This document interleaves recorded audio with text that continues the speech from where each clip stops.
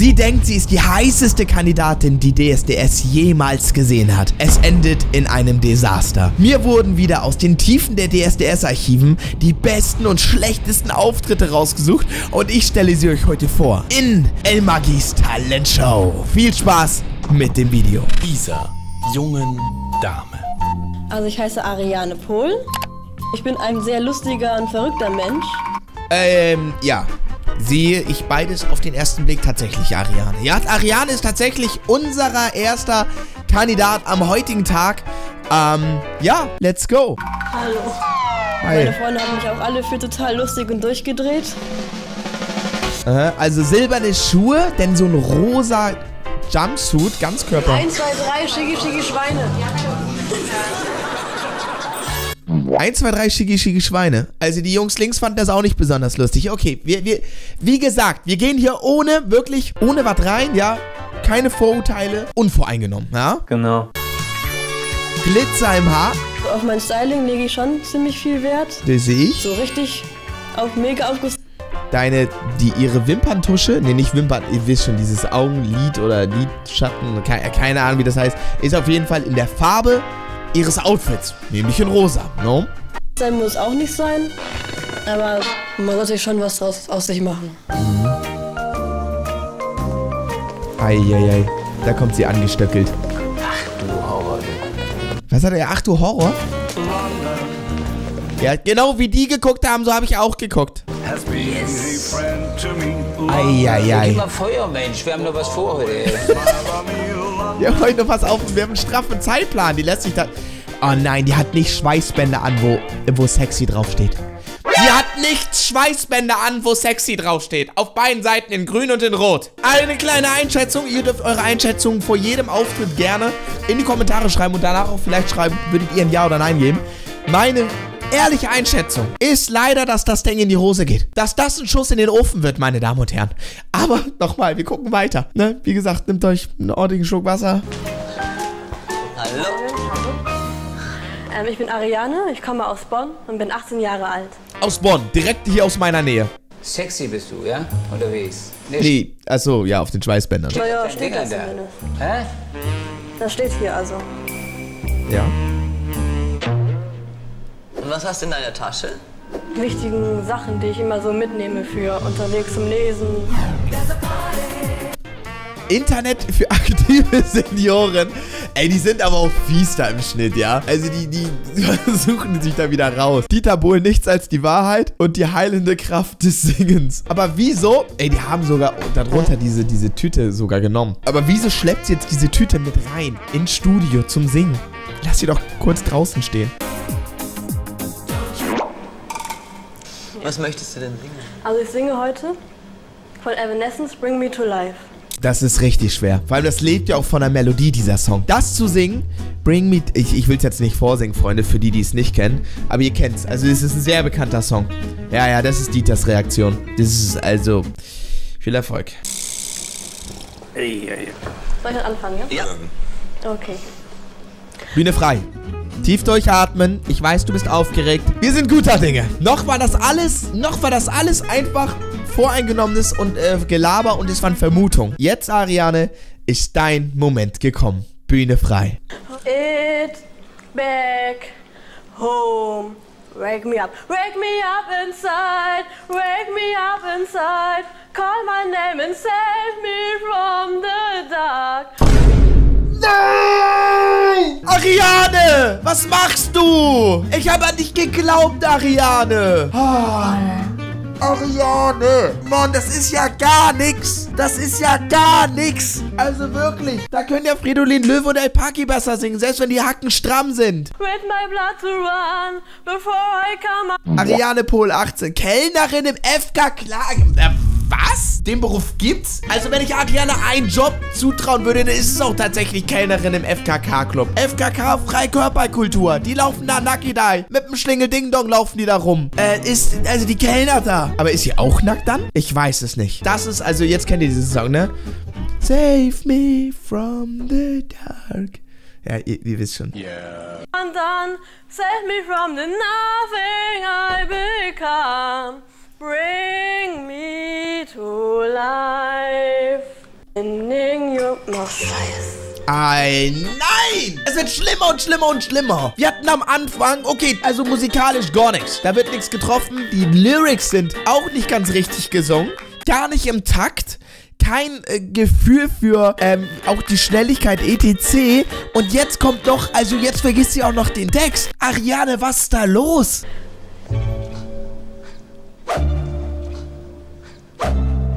Ja. Was, ich hab's, ich hab's nicht, ich hab's nicht. Nee. Ist nicht schlimm, Ariane. Ist nicht schlimm, dass dir der Songtext jetzt nicht mehr einfällt, weil das Ding ist eh vorbei. Das ist ein ganz klares Nein, meine Damen und Herren, ne?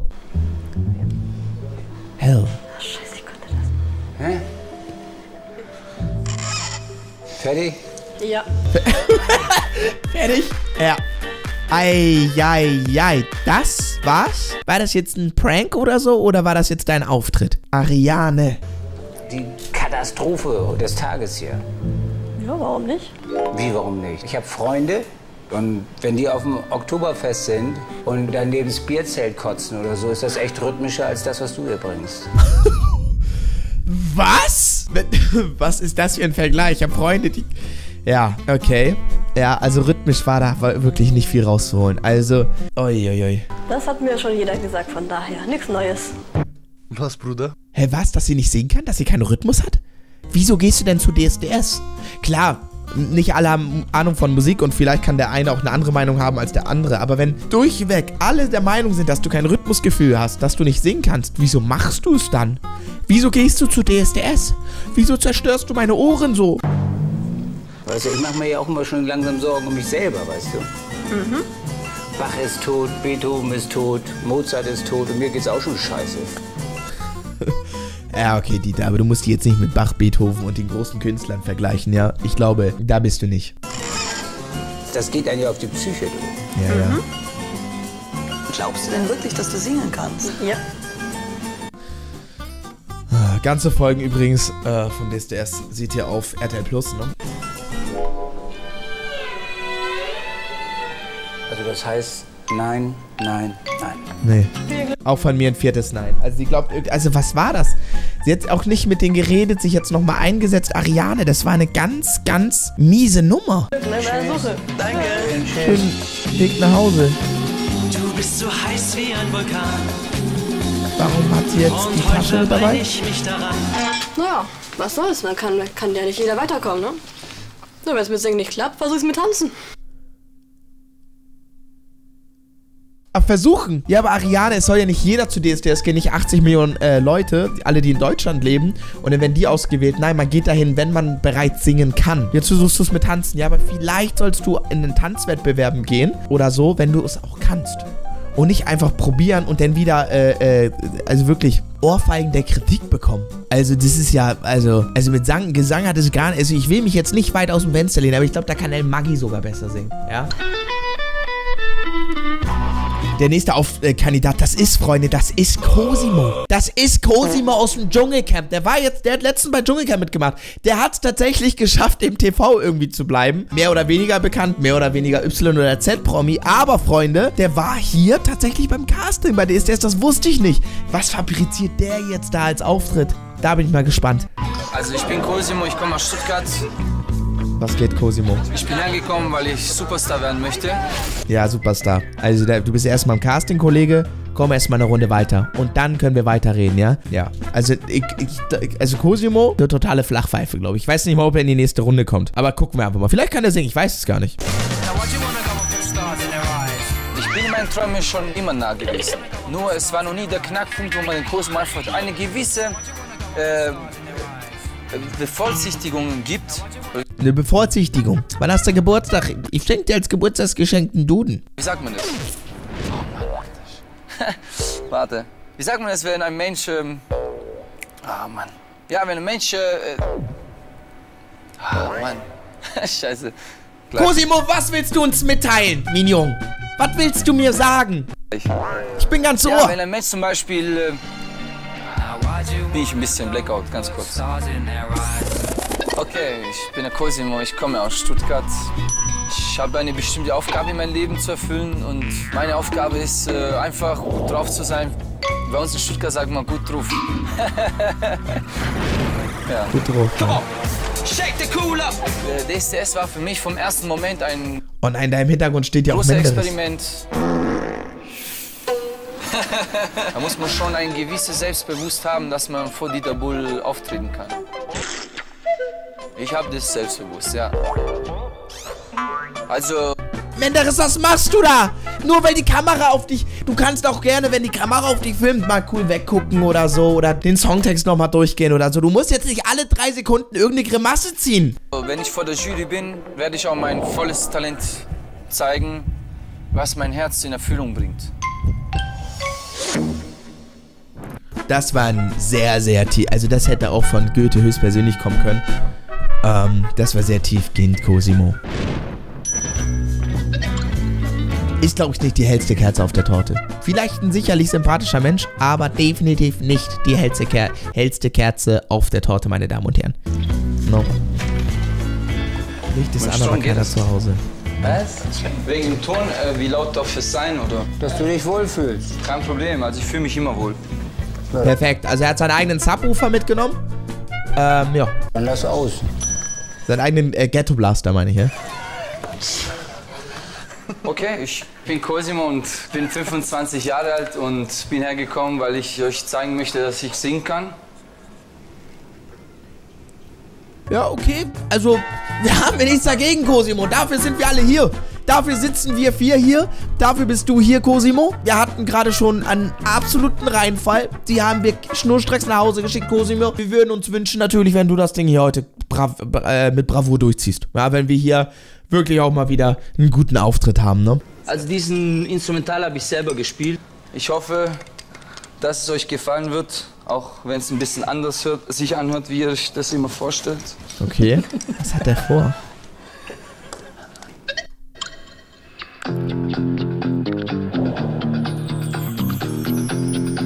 Was, Cosimo, was wackelst du da mit dem Hintern? Ich, ich, also das wirkt jetzt gar nicht so schlecht. Vielleicht hat er eine gute Performance und deswegen hat er es auch noch bis heute im Trash-TV geschafft und war noch so im Dschungelcamp, äh, weil er weitergekommen ist. Vielleicht kommt er auch weiter, ich weiß es nicht. Spider-Man. Hat den, hat die Jacke jetzt zugemacht, den, den Zip-Hoodie?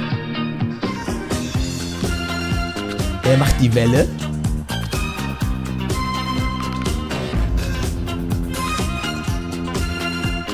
Er macht 18 Mal die Oh, Welle. sorry. Ja, er so. Ist das jetzt der Auftritt? Ey, wir sind hier bei DSDS. Nicht Supertalent, auch nicht bei Let's Dance. Wir sind hier in El Magis Talentshow bei DSDS. Also, wo, ey, könntest du bitte jetzt singen, Cosimo? Wir haben heute, wie gesagt, noch Termine.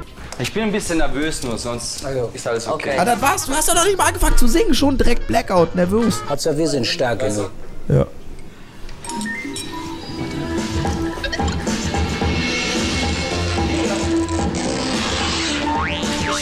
Will Deutschland suchst du werden. Ich hoffe, dass für euch die Chance kriegen werde. Yeah, ich bin der Checker vom Neckar, ich bin Stuttgarter Rapper. Ich denke, die da Bulli, wir sind ja alle die Besten. Yeah, wir checken alle ab.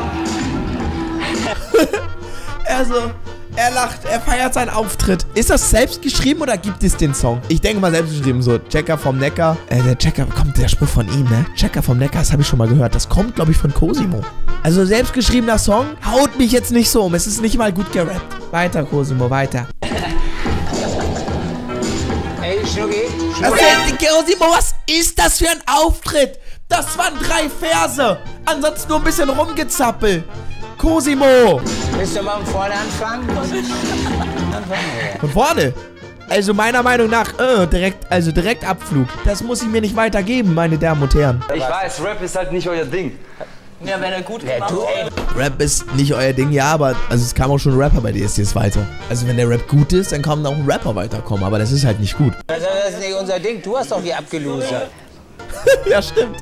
Du, der Rap ist nicht dein Ding, Digga. Da, du hast doch hier nicht performt.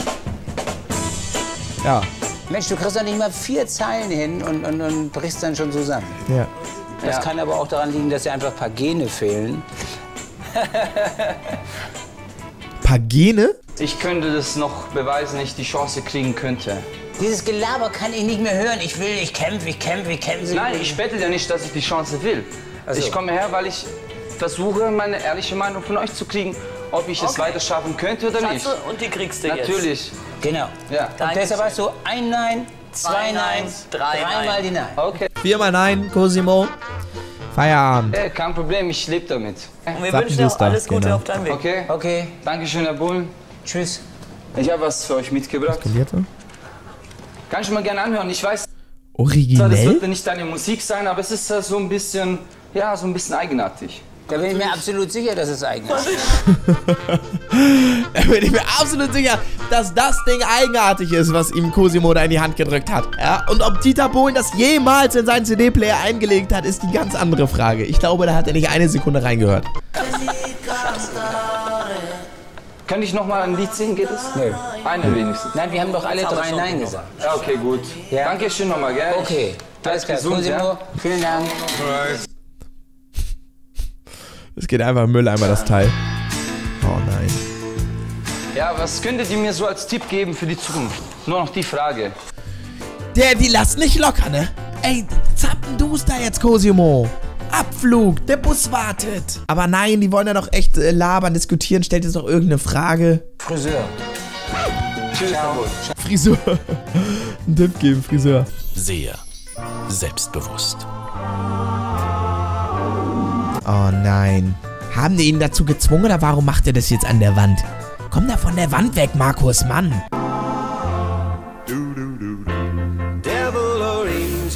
Mein Name ist Markus Grote. Äh, beruflich war ich Animateur auf Mallorca und in Und Model? Lass mich raten, Model, weil jeder ist irgendwie Model. Aber komm da jetzt mal von der Wand weg. Von der Pflastersteinwand. Mann. Griechenland. Ich singe in der Disco gerne mit. Er singt in der Disco gerne mit. Das reicht aber nicht. Also, das heißt noch lange nicht, dass du singen kannst, Markus. Das weißt du, weißt du ne? Das ist dir bewusst hoffentlich. Ganz schwieriges Gefühl habe ich bei diesem Kandidaten. Kann gut gehen, kann aber auch derbe, derbe, derbe in die Hose gehen. Da habe ich sehr, sehr gemischte Gefühle beim lieben Markus. Das war immer der Knaller. Die Leute sind ausgeflippt. Also der Dieter Bohlen ist für mich schon eine Messlatte, ja. Mein großer Traum wäre, wenn ich ähm, zum Beispiel mit dem Dieter zusammen auch eine Platte aufnehmen könnte.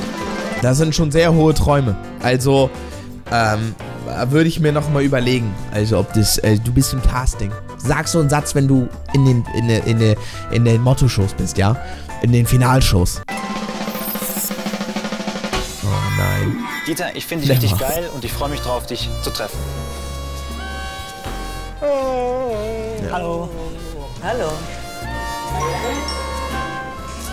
So, ich bin Markus und ja, ich finde Modern Talking richtig geil. Ich habe schon alle CDs von Modern Talking gekauft. Ich muss gleich kotzen. Der kommt da rein und schleimt erstmal bei Dieter. Ja, also damit bist du noch nicht weiter, Markus. Fang erstmal an zu singen, bevor du jetzt hier rumschleimst. Nö, ich finde es wirklich geil. Schleime. Ja, Schleimer.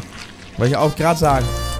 Ja, und ähm, bin 22 plus 8 Jahre alt. Boah. Ja, ich mache 22 plus 8.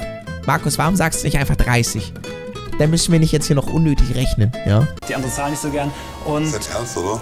bitte? Ist das gerade dein Ernst oder hast du irgendwie Komik studiert oder sowas? Hast du irgendwie komisch studiert. Zieh erstmal die Jacke aus, Markus, Mann. Nein, das ist meine. Also dann voller Ernst jetzt. Okay, dann machen wir weiter.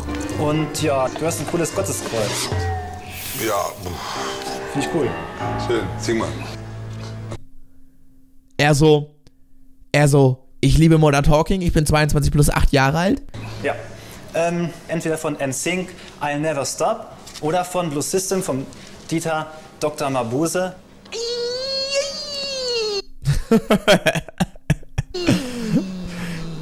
Dr. Mabuse noch nie gehört, keine Ahnung. Keine Ahnung, ob das gut ist, schlecht ist, ob das leicht ist, schwer ist, keine Ahnung. Das würde ich mir noch mal überlegen.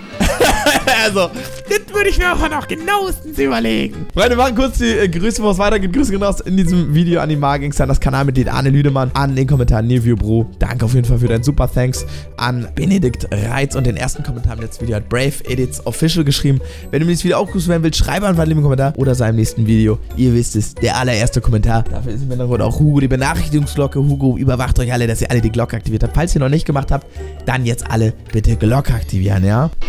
Ich finde Dr. Muse richtig geil. Na, hör jetzt auch mit deinem Dr. Mabuse weg. Wir machen jetzt die NSYNC. NSYNC, okay. Also bin ich jetzt aber nicht dafür. Finde ich jetzt auch nicht. Blues System. Blue System, Blue System, Blue System, Blue System. Ja, ich kann, ich kann mal bitte um ein bisschen Ruhe bitten hier. System, Blue System. Hieß, bevor er Modern Talk war, hieß er Blue System? War er vorher bekannt als Blue System? Ich weiß es nicht. Na, lass ihn doch. Nein, ich weiß selber nicht mehr, wie die Nummer geht und ich Ja, ich möchte sie krieg auch doch Jetzt nicht. will ich's ja hören. Eben. Gegen den Dieters Willen kann ich ja nicht singen. Egal. Dann sing jetzt den Song. Sing jetzt. Also. It's alright, it's okay, it's in... Okay, er hat schon angefangen. Da klang schon die ein und andere Note völlig am falschen Platz. Ja, aber ähm, ja, nochmal. Tief durchatmen, Markus. Bühne frei. Wir sind ganz ohr und völlig unvoreingenommen. Let's go, Markus. Now they say, Dr. Mabuse, Ah, jetzt Dr. Mabuse, it's a shame he returned in a shade of grey. Dr. Mabuse, Dr. Mabuse, all he lost all his life, all his dreams. Also der Song ist auch, glaube ich, ziemlich bescheiden, um ehrlich zu sein. Also der Song ist ziemlich bescheiden. Deswegen schämt sich Dieter jetzt auch so ein bisschen, dass der gesungen wird und hat auch keinen Bock auf den Song, weil der ein bisschen beknackt ist. Aber der ist auch nicht gut gesungen. Also er ist textsicher, das merkt man, aber das ist gesungen, äh, gesungen also, äh, ne, das ist Gesang für einen Schrottplatz.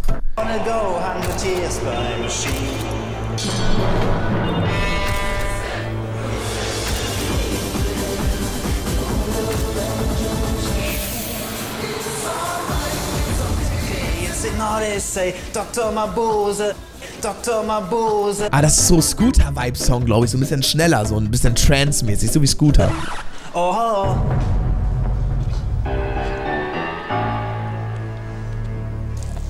Ich, ich frage mich die ganze Zeit, was, wenn du zu Hause so dir selber vorsingst, wie du das aushältst. Ja. naja gut, wenn es heiß ist, kann ich ja gehen. Hä? Ja, aber warum machst du denn da mit? Man will doch weiterkommen. Ich habe das Gefühl, dass manche Leute, Menschen da hingehen, die haben, die haben auch gar keinen Bock. Also die denken sich so auf, ich gehe da hin, auch wenn ich raus will, fliege ich raus. Aber ich würde da nur hingehen, wenn ich auch weiß, yo, ich kann gut singen. Aber ich kann nicht gut singen. Ein Maggi ist jetzt nicht der beste Sänger. Deswegen gehe ich auch nicht zu DSDS. Doch ganz einfache Sache. Es gibt sechs Milliarden Menschen, weißt du? Und du musst hierher kommen. Ah, das war schon. Mach bitte aus jetzt hier. Nicht für mich, ne? Also. Ich gehe jetzt, also mach die Kamera bitte aus.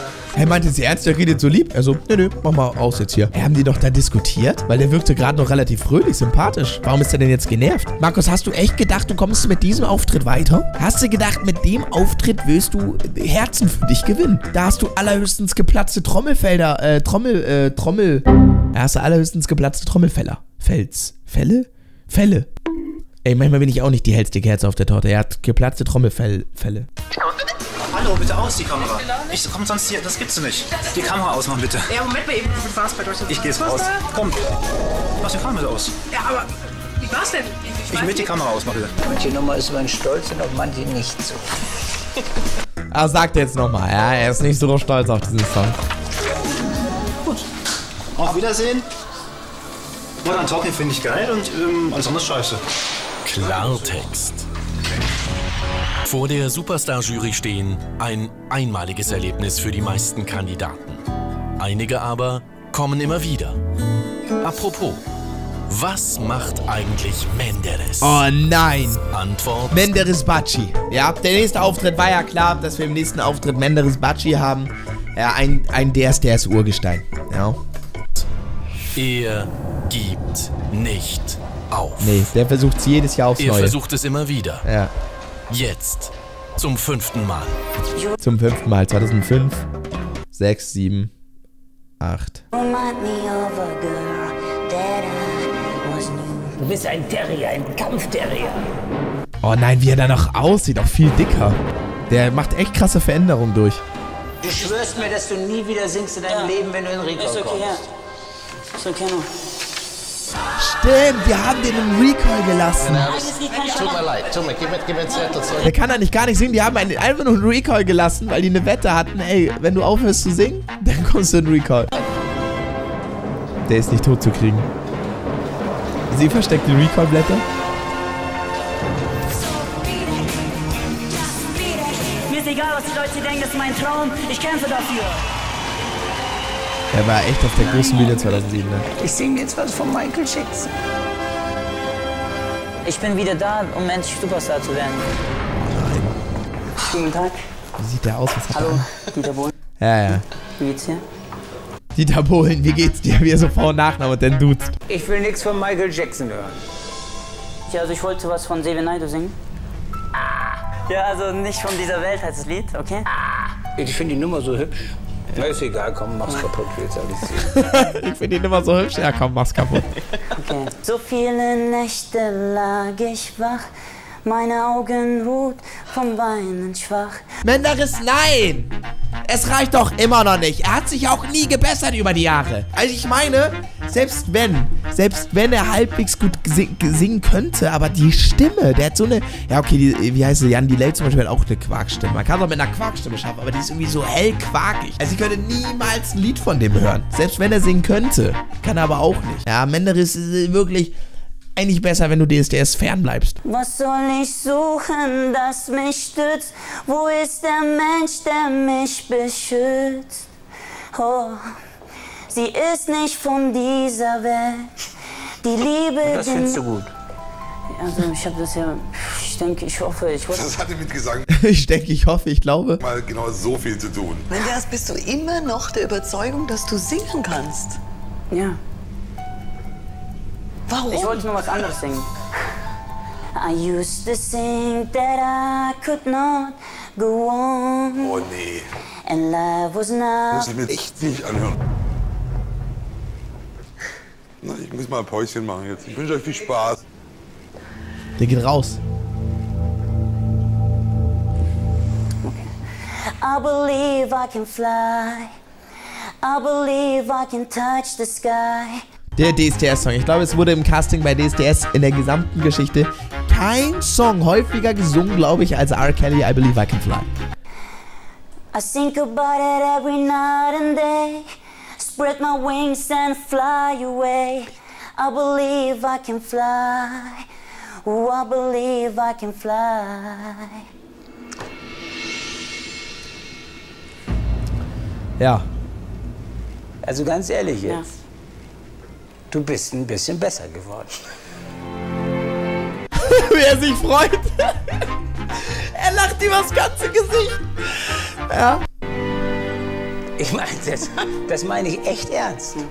Ist er vielleicht wirklich. Also das äh, I Believe I Can Fly hat er mit relativ viel Gefühl gesungen, weil es halt wahrscheinlich in seinem Leben schon 100.000 Mal gesungen hat. I Believe I Can Fly hätte ich ohne Text erkannt. I Believe I Can Fly hätte ich erkannt. Aber ohne Text. Also er meint so rein vom, vom, Ge- von der Melodie, von der Melodik und so, vom Rhythmus. Und, äh, Und wenn es so weitergeht, in circa 6.000 bis 7.000 Jahren, hast du das eine Chance vielleicht wirklich auf dem Rekord. in 6.000 bis 7.000 Jahren. Menderis, du weißt hoffentlich, dass du nicht 6.000 bis 7.000 Jahre lebst. Das ist dir hoffentlich bewusst, ja? Aber du hast ja noch ein anderes Problem. Wenn du irgendwann in 6.000 oder 7.000 Jahren die Töne wirklich super triffst, dann hast du ja immer noch diese beschissene äh, Eunuchenstimme da. Ja. Die muss ja auch noch raus. Ja. Weißt du, wenn ich hier Bär ist ja nicht da, aber wenn ich das in ein Waffeleisen hau, dann kommen da solche Töne raus. Ja. Jetzt schmeißt er schon mit Sachen an mir. Nein, ich meine, wenn ich jetzt in Recom komme, Nein. auf jeden Fall. Nein! Ich habe gesagt, in sechs. Menderis, bei- von Recall bist du meilenweit entfernt. Also, er ist, wenn ich nicht in Recall kommen kann. Menderis, der hat drei Wörter gesungen. Redet von Recall Menderis. Das reicht nicht. 1000 Jahren. Hallo. Oh nee, jetzt kommt die Recall-Diskussion. Ja, jetzt kommt die Diskussion. Nee, das Nein. mit den 6000 Jahren, das war ernst. Ui, Das traurig. Leben ist manchmal ungerecht. Weißt du, Jimi Hendrix ist tot, John Lennon ist tot, weil eine tausend Leute und Heino lebt. Das ist, das ist auch ungerecht, aber kann man nichts machen, so ist das Leben. Der ist richtig traurig. Der ist Ja, richtig du kriegst jetzt auch hier Auftrittsverbot. Ja. Also ich, spreche jetzt das offizielle Auftrittsverbot für DSDS aus. Nächstes Jahr stehst du hier nicht, das schwöre ich dir. Mensch, und ich weiß nicht, wie, wie man dir das noch klarer machen soll. Du schaffst das einfach nicht. Schnucki, auf Wiedersehen. Ciao, Benderis. Das langt nicht, mein Lieber.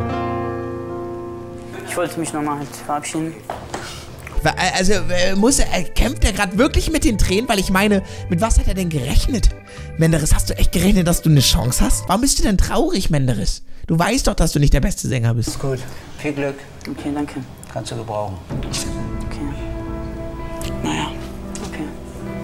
Ciao. Ciao, ciao. Diese traurige Musik. Ich dachte, diesmal habe ich eine gute Chance.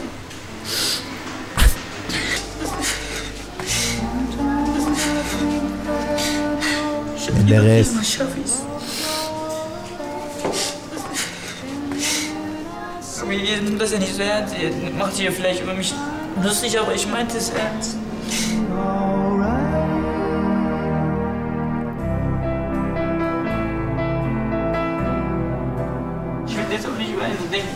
Selbstbewusst. Ich bin selbstbewusst. Nur, man darf ja auch mal traurig sein. Na klar, Menderes, ja. Gefühle zu zeigen, zeigt auch Stärke. Also, es ist völlig okay, dass du jetzt mal weinst. Ich frage mich nur, ob du echt gedacht hast, dass du weiterkommst, Menderes. Weil eigentlich hast du jetzt schon, das ist dein fünftes Mal Nein. An der einmal kam ein Recall. Aber Menderes, das wird nichts mehr. Freunde, wir hatten bisher vier Neins. Vielleicht kann uns der letzte Auftritt am heutigen Tag ein Ja bescheren. Ja, alle Hoffnung fällt darauf. Ihr wisst, ich brauche für, meinen, für meine Laune, damit das Video auch irgendwie gut wird, brauche ich immer persönlich einen Kandidaten halt, der ein Ja kriegt. Der einfach gut ist, am besten, wo ich Gänsehaut bekomme, wo ich Glücksgefühle habe. Vielleicht wird es jetzt unser fünfter Kandidat. Bühne frei für Michael. Ich bin der Michael und beruflich führe ich im Moment den Beruf Metzger aus. Metzger. Metzger ist ein ist bekannt dafür, dieser Beruf, dass das gute Sänger, also viele Metzger sind gute Sänger, weil die beim Metzgern halt singen. Ja, ich äh, geb's auf. Also wirklich, wie gesagt, ich will unvoreingenommen sein, aber dass Michael hier ein Abreiß ist, das bezweifle ich. Das sage ich euch ganz ehrlich, das bezweifle ich. Als Metzger kann man dann halt auch sehen, wo das Fleisch herkommt, wie es verarbeitet wird, wozu es verarbeitet wird. Das ist schon interessant, dieser Beruf. So I say, Michael, was versuchst du da? Was, was ist das? Also wenn, dann macht man ja eher so, anstatt so. Und, ähm, also, diese, also, das ist jetzt auch nichts zum Angeben. Und Michael, mach mal den Kragen bitte runter. Bei besten Willen. Trag das Hemd gerne, wenn du willst, aber mach doch bitte den Kragen runter. Danke. Wenn ich auf der Bühne stehe, dann gehe ich mega ab. Ey, vielleicht macht er da gute Stimmung. Es sind auch schon bei DSDS weiter, Leute weitergekommen, die einfach eine geile Aura hatten, eine gute äh, Stimmung gemacht haben, ja. Und es gesanglich halt auch äh, okay war, ja. Haben sie auch. Also vielleicht überzeugt Michael hier von anderen Attributen, ja. Ich werde alles geben und noch viel mehr. Ich werde der neue Superstar. Hallo. Das bezweifle ich aber. Ich bin der Micha, bin 21 Jahre alt, vom Beruf. 21, krass. Ich hätte gedacht, der wird, äh, ist ein bisschen älter. Was, was ist das für ein Gürtel? Ist das eine Batman-Schnalle? Das sieht aus wie, eine, wie das Batman-Symbol. Aber ich weiß auch, ich kann auch nicht sehen, was da drin steht. GP Bar? Äh, bin ich zurzeit Metzger. Ja, und ich wollte euch heute mal äh, was performen. Ja, das geht so in die Hose, Michael. Das ist, das ist so sieht einfach kein Superstar aus. Komm, Michael.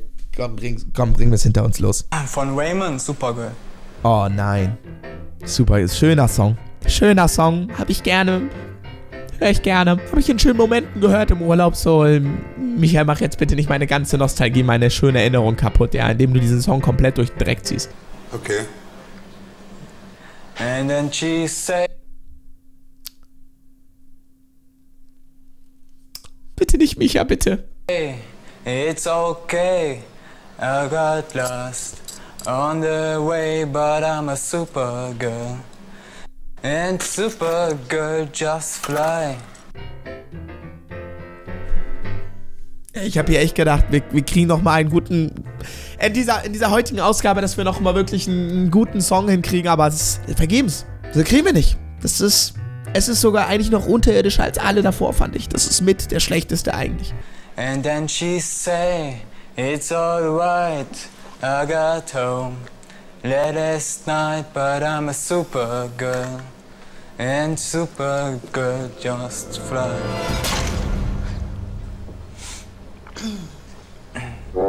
Micha. Wie sagen wir es dir am besten jetzt? Zu deiner Rechten ist die Tür, Micha. Wenn ich auf der Bühne stehe, dann gehe ich mega ab. Da gehst du mega ab. Du bist krank abgegangen. Also wir konnten uns fast alle gar nicht mehr halten. Micha, das langt nicht! Du bist doch so ein bisschen dröselig, ne? So ein bisschen. Oh, oh. Du stehst ja ja. wie eine Schlaftablette. Und genau, Genau, ja, der kommt dahin, so irgendwie eine Schlaftablette einfach. genau so singst du auch. Hat seine Füße nicht, seine Fußstellung nicht einmal im ganzen Auftritt äh, bewegt. Guck mal, du hast die, die, die, guck mal, die Leute, die denken, dass, die, das Bild steht, das ist ein Standbild. Oh mein Gott, wir sagen einfach genau das gleiche die ganze Zeit. Ja, das sag ich auch. Du bewegst dich gar nicht. Doch, jetzt hast du gezwinkert. So kann kein Mensch singen, du. Was zum Teufel reitet dich hierher zu kommen und was vorzusingen? Also du sitzt jetzt seit wahrscheinlich 17 Jahren ohne Sonne da, merkst nicht, dass du Pickel hast. Jetzt mal ehrlich, also ich meine, Style, dein Styleberater ist seit 15 Jahren im Dauerurlaub und, und, und, und, und, und dann kommst du her und sagst, Wir werten hier nicht die Fashion oder das Outfit, ja? mal singen. Ähm, ja. Nee, lass mal, echt. Okay, äh, eine Frage. Darf ich mit dir ein Foto machen, Dieter? Ja.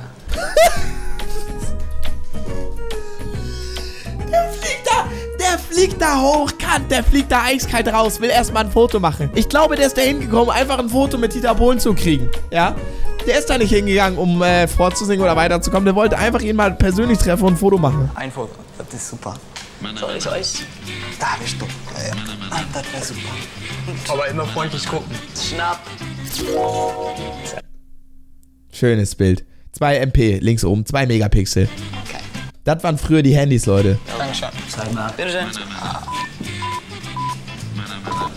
Was hast du denn da für Schweinefotos in deinem Handy? Oh, nee. Alles wohl nackte Weiber? Sexy. Ja, da war meine Freundin.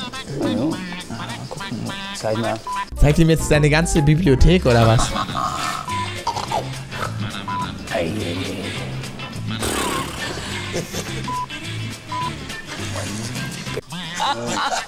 Das sind aber eingefügte Bilder. Das sind nicht die Bilder, die auf haben. Weil für 5 Euro. Auch Ja, für für Foto. Foto 5 Euro.